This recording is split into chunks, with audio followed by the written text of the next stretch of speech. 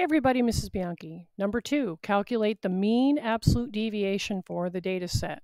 They don't give you the mean. We need that first in order to find the mean absolute deviation. So that means that we have to find the sum of all the numbers as step one.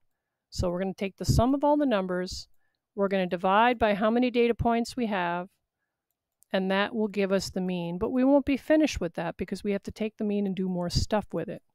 All right, so the sum of the numbers, we shouldn't really need a calculator. I mean, if we were going to use a calculator, I just want to watch, want you to see how slow that would be to put in all the numbers in a calculator. If we put these in one at a time, 2 plus 4 plus 6 plus 6 plus 7, and we get that. But that took a while, right? So what should you do instead of that? You should take advantage of compatible numbers. What do I mean by that?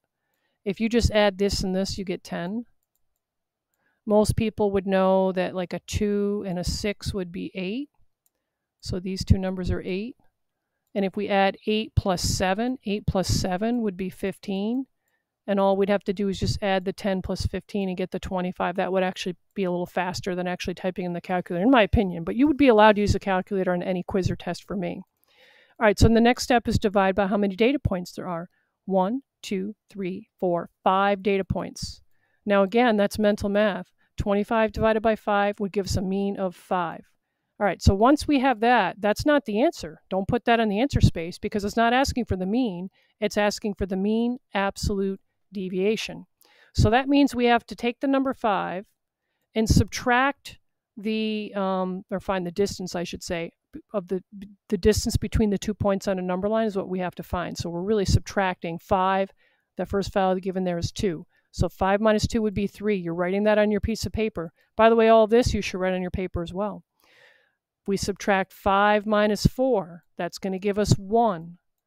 If we subtract the 6 and the 5, that's going to give us 1. If we subtract the 6 and the 5, that's going to give us 1. And if we subtract the 7 and the 5, that ends up giving us 2.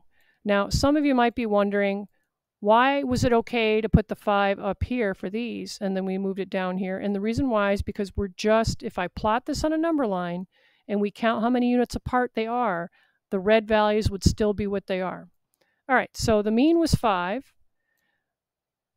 We now have to find the sum of these numbers. Now, once again, you don't need a calculator for this. You should just do mental math, like chunk things up. Like this would be 3.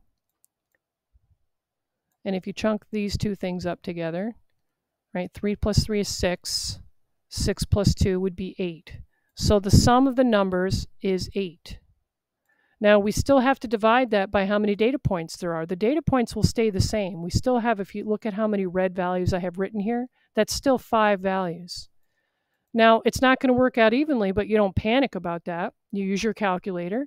Now if you did have to do the standard algorithm, you just do 8 divided by 5 and you would just go ahead and put a zero after after the decimal. That wouldn't be horrible, but when we're allowed to use a calculator, watch 8 divided by 5, and we get this number. So that's the number you're going to be putting in as the mean absolute deviation, not the mean. Don't put 5 in. You're putting this number in as your answer, and don't round it. Don't put in 2.